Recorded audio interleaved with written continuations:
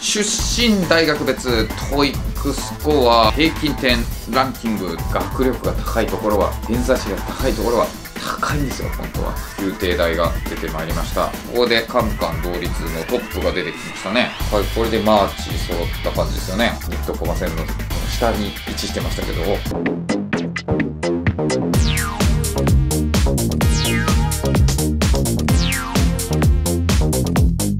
本日始まりました、もちチャンネル。さあ、今回なんですけども、出身大学別 TOEICスコア平均点ランキングというのを見ていきたいと思います。はい、昨日ですね、結構反響ありましたね。はい、大学別の TOEICスコアランキングっていうのを紹介したんですけども、まあ、あれは大学に所属している人たちですね、のランキング。その所属している人たちの TOEICの平均点。で、大学側が公開していないとそのランクっていうのできないんで、なんでまあ、ほとんどの大学が発表してないわけですね。集計してない。まあ、それに対してこっちはですね、はい。この転職とかの日経転職版の会員のデータですね。だから転職とかをしたいと思っているその社会人です。社会人の人の出身大学別のスコアランキングになっているわけですね。なんで結果が異なります。それでは早速見ていきたいと思います。さあ、1位の大学は国際キリスト教大学889点と。おー。なるほど。まあ、その大学別だと上智のその学部で1番になっていて、で、2位が国際教養大だと思ってたんですけど、まだ国際教養大の人たち、まだ新しすぎるので、なんか転職とかってやってる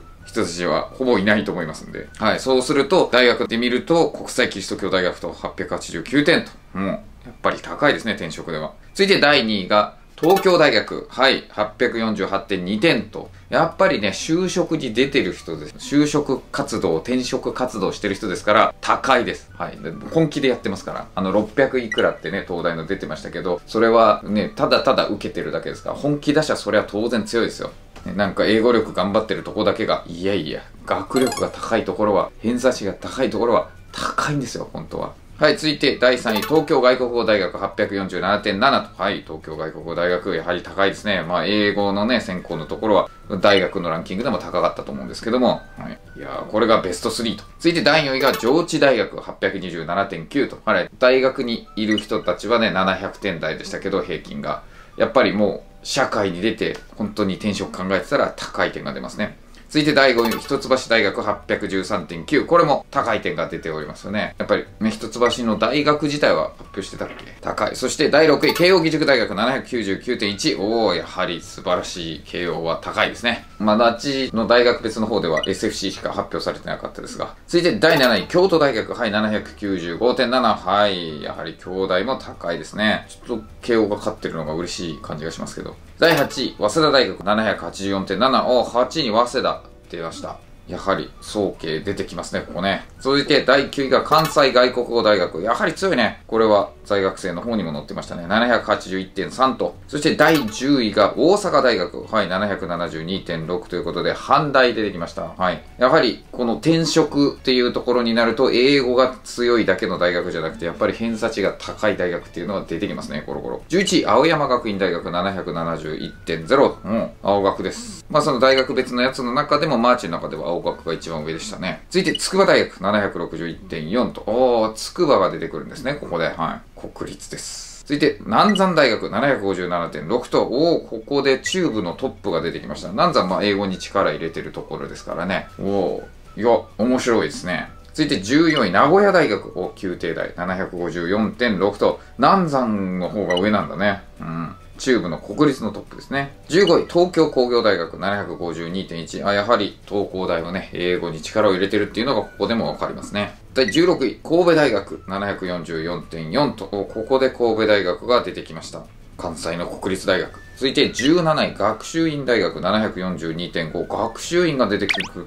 で、結局噛んじゃったけど、学習院出てくるんですね、ここでね。ええー、意外。面白いですね。G マーチの G です。続いて18位が横浜国立大学729.7と。おー、横国がここで来ましたか。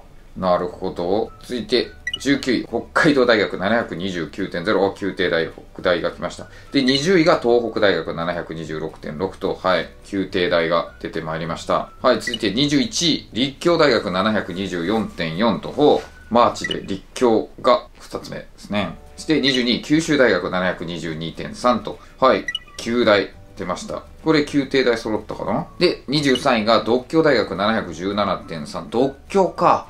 やっぱ英語に力入れてるとこだからね、独協はね。で、24位が関西学院大学715.8。おお関学がここで来るんですね。僕は神戸に行ってた時、はい、ここで TOEIC 受けましたね。で、25位、大阪市立大学714.6。おおここに大阪市立大学出てくんだ。へえ、面白いね、やっぱり。続いて、同志社大学710.9と、お、ここでカンカン同率のトップが出てきましたね。いや、面白いね。で、27位が明治学院大学で709.7と、ほうほうほう。明学。おいおい。まあ、英語、ここも力入れてますもんね。続いて、28位、立命館大学708.8。あ、カンカン同率3つ目。まだ関西大学だけ出てないか。で、29位が中央大学708.5と、お、はい、マーチ。第30位が明治大学703.8。あ、明治の方が下なんだ、中央より。で、第31位、法政大学700.6と、おー、そうなんだ。法政700か。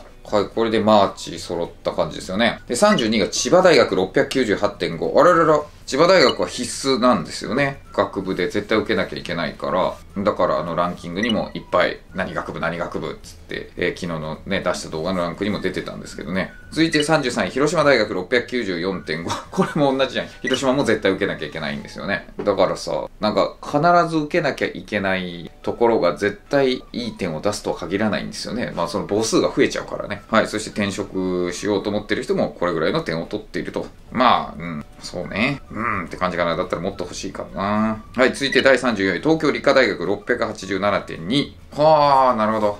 理科大、ここに来るんだ。続いて35位が成形大学682.7と。はい。ね、設計はあのあんまりイメージない人も多いかもしれないですけど、まあ真面目な、ね、勉強をするっていう感じのイメージはありますよね。続いて36位、関西大学676.3と。えー、関西大学ここなんだ、カンカン同率。あ、そう。えー、もうちょっと高くてもいいんじゃないの？で、37位、神奈川大学649.0。あー、神奈川大学ここに来るんだ。日東駒線どうしたって感じじゃない？神奈川大よりも低いんだね。はい、続いて38位、専修大学644.2。ああ、日東駒線の中でも、まあ、この後ね、出る動画ですか、サブチャンの方で出る動画だと、日東駒線のこの下に位置してましたけど、日東駒線の中で上で、39位日本大学が出てきました。また日東駒線。642.3。そして40位が東洋大学626.8という感じになってます。これがベスト40という感じね。なるほど。まあ、この後はさすがに高くないですね。600いくつってね。あんまりよろしくないですからね。やっぱり600切っちゃうとかだと何のためにっていうか転職であんま書く人いないですからね。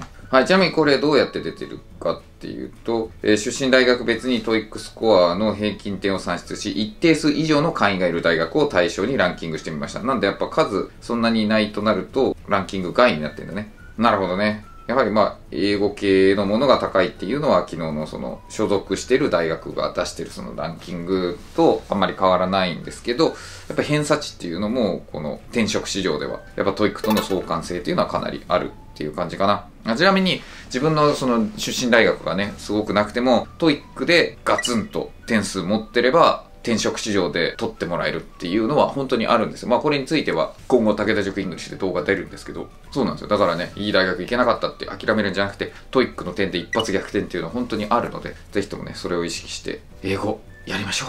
はい。ということでした。皆さんの意見ですね、どう思われるかぜひともコメント欄でお聞かせください。はい、ご視聴ありがとうございました。Thank you for watching.